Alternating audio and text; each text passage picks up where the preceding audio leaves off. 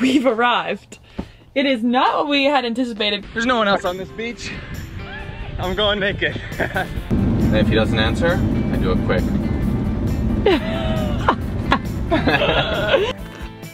Oh, well, they have some bite.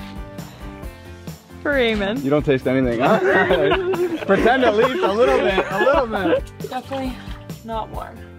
We love little pickles. We last left you guys exploring the freshwaters of Santiago. Since then, we've headed north and we've discovered our favorite beach yet.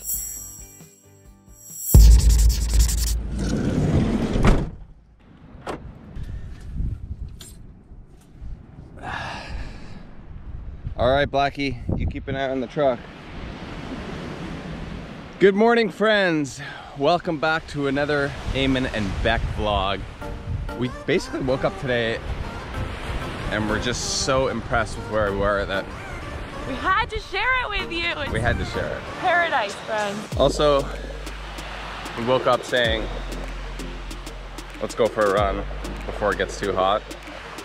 It's already too hot hot. or are you still gonna go for a run? Let's go.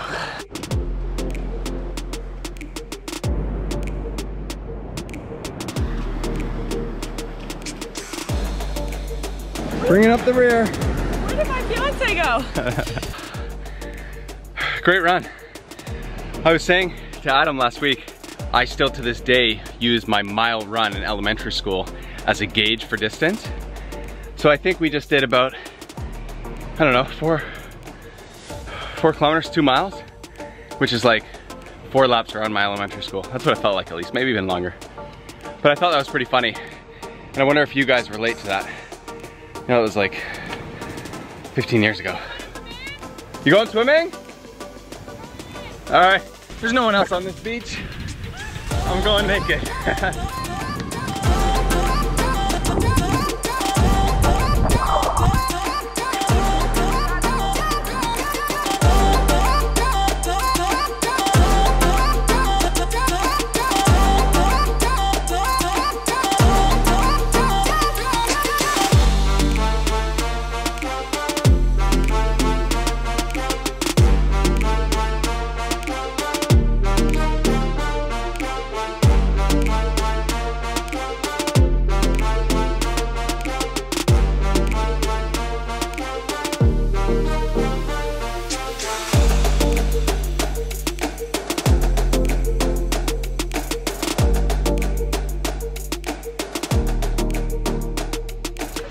breakfast this morning, Eamon has made us some oatmeal. Did you do like PB and J yeah, this is the same one that's in our cookbook. Mmm, so it's the recipe from our cookbook, Weekday Whip Ups, and it's got, we're using almond butter and some local jam we found. Something that Eamon tried when we were back home was intermittent fasting, and while we don't fully practice it very strictly, we do feel really good if we get up and just have a tea or a coffee in the morning with water, and then we kind of get our quick workout in, give us a break, have some more water, and then eat breakfast. So that's what we've been trying to do lately. Also, I find you appreciate the meal like, mmm, I'm craving this. Mm-hmm. Sounds much more. so good. Breakfast of champions with one killer view. Dude, this is so good. You like? This is like, and I'm not just saying that so you guys buy the book. Although you should buy the book because it takes a lot of work to make the book and cut. the only thing I can really relate this to is like a computer that's like at one or two percent and you just plugged it in. It's like it's that good. It makes you feel great. Giving you life? Mm. These sandflies are amazing too. Super purple. This beach is called El Saltito and we found out about it through our friend Hector. He's a local here and I feel like it's a very unknown local spot. We're only about 30 minutes outside of La Paz and we're in love with it because there's cactus over here, there's mountains over here, the water is crystal clear. It's just, it's just paradise. But it does come with its dangers. These little balls of spikiness are horrendous. Yeah, for a couple of If you- babes. Oh my Get god, they're deadly. Yeah. Uh, I know firsthand because I had about 12 of them stuck in my feet last week. They're all over my shoes. And now it's all over this blanket. I don't even know what to do. Just leave this up to me. I can show you my world. We can go through it all. You, you just leave it up to me. Take a trip to the stars. I can show you it all. You, you just leave it up to me. I can show you my world. We can go through it all. You, you just leave this up to me. Take a trip to the stars. I can show you it all. Yeah. Look at all this moolah, I got cash of books in my lap now. All up in your face like a front. Now, you guys are probably wondering why in your right mind would you leave that amazing beach? Good point. Two things. Number one is we need to get to internet. We Gotta check on emails and that sort of thing. And number two is we were actually invited to stay at this really cool looking eco lodge.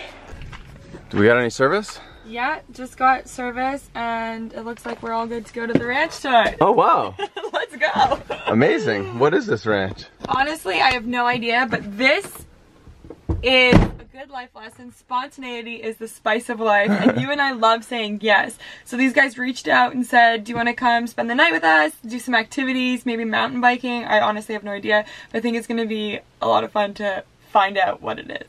Let's go.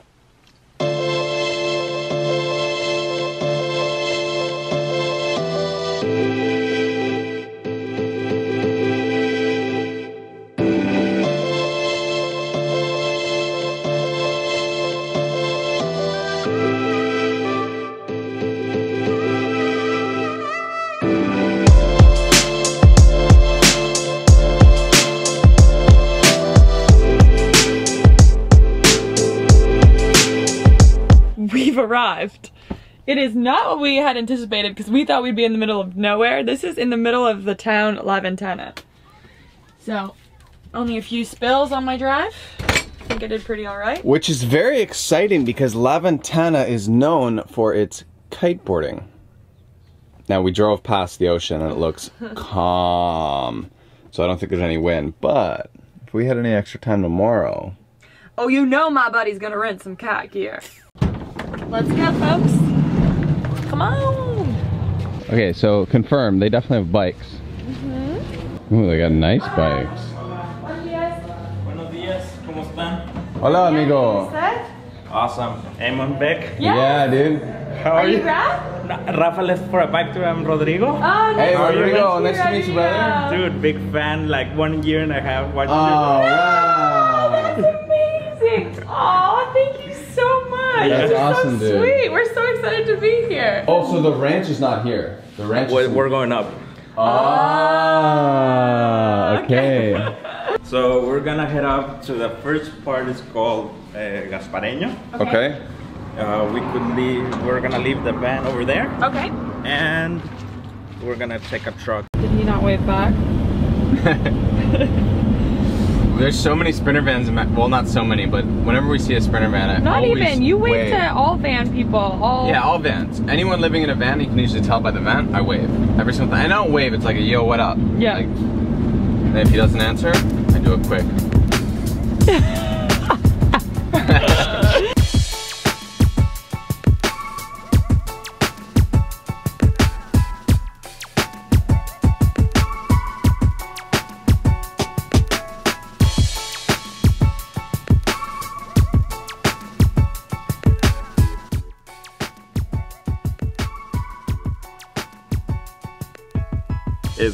the cowboys and the ranchers uh, usually sleep and we'll see some horses and mules that we have here in our uh, corral. So this part and, and Chivato and many sections of the ranch, we don't have electricity or like running water, so we're completely off grid. Just like our house. Yeah, but like in a different scale. but the principle Look at the size of their fridge. Yeah. and Yeah. freezers then. Yeah. That's amazing. Wow. And we have our composting toilets. Take the wood chips and put them after each time, right? Yeah, Yeah. so it keeps the smell down. Gotcha. Like Because I'm getting a Nature's Head toilet. This is almost like a uh, like pepino, a cucumber. Oh yeah. What a flower? Yeah, Fresh chilies here. Which one do you think would be spicier? I think the drier one. I'm like it. I'm the host. Cheers. Salud. Mm, it's not very hot. Oh really? Yeah, maybe after summer. You're definitely hot. Really? Well, they have some bite. For Eamon. You don't taste anything, huh? Pretend at least a little bit, a little bit. But what about this? Is this edible or no? a little bit bigger. Keep going. Mm. Oh. Is it yum? Oh, it tastes like candy. Oh my god. Isn't that good? Rodrigo, try this tomato. Dude, that juice is crazy. Hello, are you hungry? Aww. Hi. Bec's gonna grab her first carrot. I'm a farmer now, everybody. we have the pleasure of picking some of this beautiful fresh produce for our salads for lunch. So we are, well, we're excited, huh, babe? Dude, look at this kale. We have picked all of our fresh produce. Now it's all organic, so technically you could just eat it. Might have a little dirt on it. It's not a big deal. But here at the ranch, we're gonna. That tastes a little weird. we're gonna wash everything thoroughly. So this is like their washing station, and we're just gonna go through and give it all a rinse, clean it up.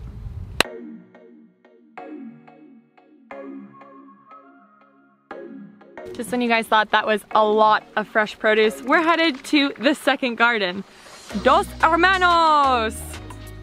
Uh, hold on, we've just realized that we're actually leaving the van for the evening, you guys. We're being treated to a night's accommodation here. So we need to pack up our stuff, I Everything. guess. Like, what do we bring? Everything. Shoes. Shoes, food. running shoes. They said they have food for us, but maybe we should bring some like supplemental stuff. Just Water. Computers. relax. I never left my van before. okay.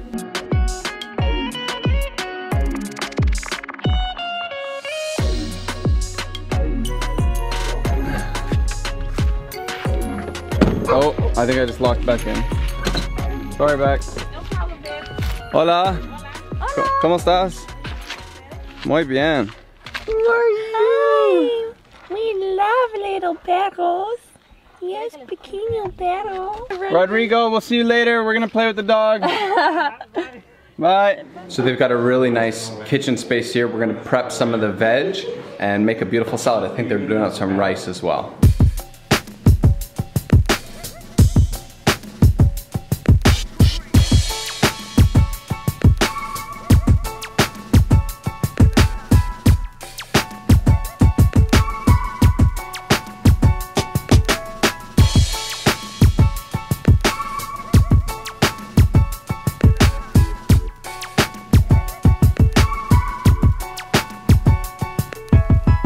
Part of what they do is they also have a, that full mountain biking service. So we've just met up with a mountain biking group and we're gonna sit down for some lunch.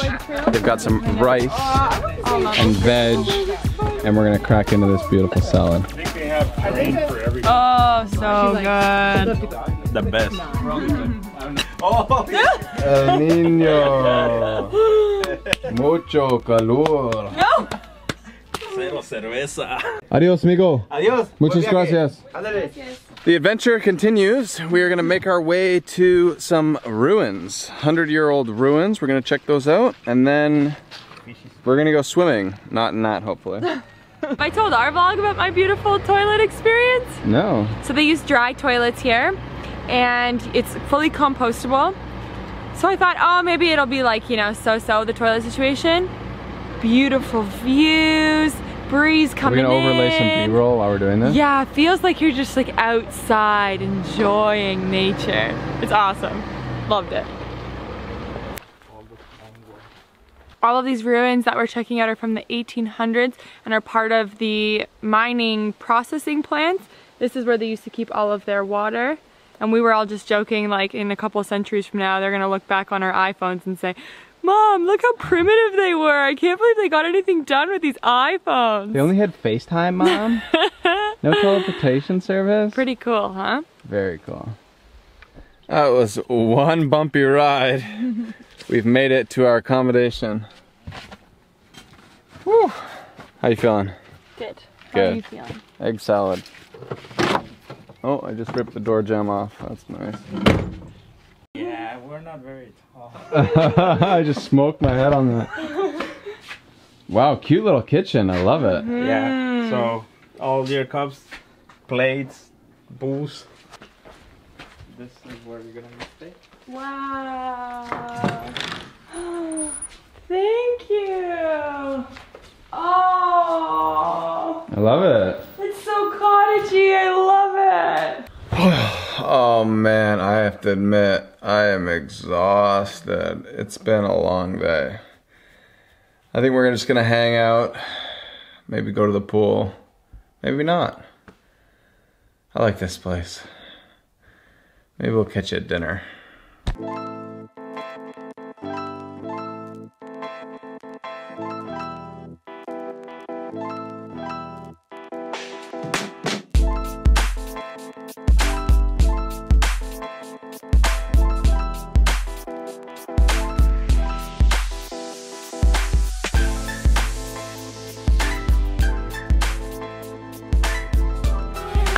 You can hear in the background behind me, the boys have their toys out. They're having a drone war at sunset, which is gonna be really beautiful. I hope you enjoyed that footage. Me, I gotta get this. We're vlogging on the heavy camera, so I gotta pull it out. I'm going to try a hot bucket shower. We were asking Rodrigo why they do that, and he thinks it's just to help conserve water. It's something that I've noticed with van life especially, is that having limited amount of resource of water, you're very, very, very conscious of how much you're using. I'm probably getting lost. Oh no, I see it. Oh, I think I can go this way, I was right. Um, yeah, so you're really conscious of how much water you're using. And now that I've lived in a van for two years, anytime I'm somewhere and someone's brushing their teeth and the tap's on, and all of those little tiny things that you think are kind of silly, in van life especially makes such a big difference and I think that's the point of the bucket shower is you're just conscious of how much water you're using. So this is gonna be my little shower area. I'm gonna fill up those buckets with some water make it a mixture. And uh, I think that's all she wrote. I have literally, I mean you guys saw me like this morning on the sand. I've been sandy and salty for days now and I have so much sand in my hair. So this is gonna feel extra, extra good. I'm gonna guess that this is hot. Rojo. This is hot, but this might take a while to fill. Should you see if this is cold? Let's try the other side. We'll call that lukewarm. You have to be able to carry this bucket. Okay, folks, here goes nothing. I'm gonna take this wee guy. Just go for it. Ah! Boy, definitely not warm. Aguas no caliente. Um, of course, Eamon's gonna ask. I did not ask. My shower was just cold. He's asking now for his. Are you crazy? Huh? No chance I'm having a cold shower. No, but it was still really refreshing. I loved it. And I was just making a point about how much water I've learned to conserve. And I had so much water left over from the bucket that I was just kind of like dousing it on myself, and I still have some left over. You have a full bucket? Not a full bucket, but I still have some left over. Hola, senor. Agua frio. See. I think Becca was telling you that I was gonna get a hot shower. That is not the case. They do have hot water here, but it wasn't working or it's not on or something. Anyway, feels good now. The sun is setting. I think we're gonna start dinner. Got a beautiful zucchini pasta. Um, we're doing a homemade sauce. And everything is basically cooked from, or plucked by hand by us here in the, uh, the garden, which is super exciting. So if it tastes like beep, it's our fault. Yeah, it's your fault. Yeah, it's my fault. Everything tastes so much better. I know. Wow. Gracias por la panza. Make our bellies nice and fat with this food. There's oil. Does that count? No. Okay, finito. The kitchen is clean. Watch your head getting out. Sorry, I thought we were doing this water. You should say you should change this sign here. Save water, drink Topo Chico. I asked for agua and it gives me a topo. Hi, buddy. I'm sorry, but I was really cold. Buddy, what happened to you? We were on a mission together. Know, and then all of a sudden I got so cold, like I had to be under the covers. What? Yeah, it's cold. Is that even a thing? It, it is right now. That was cold. Well, geez Louise, buddy. Where's my pillow? Um, about that. I telepathed you earlier when you went down to the van and you forgot to bring me up the pillow. So. uh, you know. Alright, buddy, I guess I'll just use this one right here. But you can also just It's got some really pretty jewels on it. There we go, buddy. There you go. Alright. Tight. Okay, amigos, this is the uh, nighttime situation. We're gonna put you down unless something extremely exciting happens, uh, which is highly unlikely here in the ranch, unless like some coyotes come or something like that. I'll just be here with my crown jewels. My pillow, of course. Good night.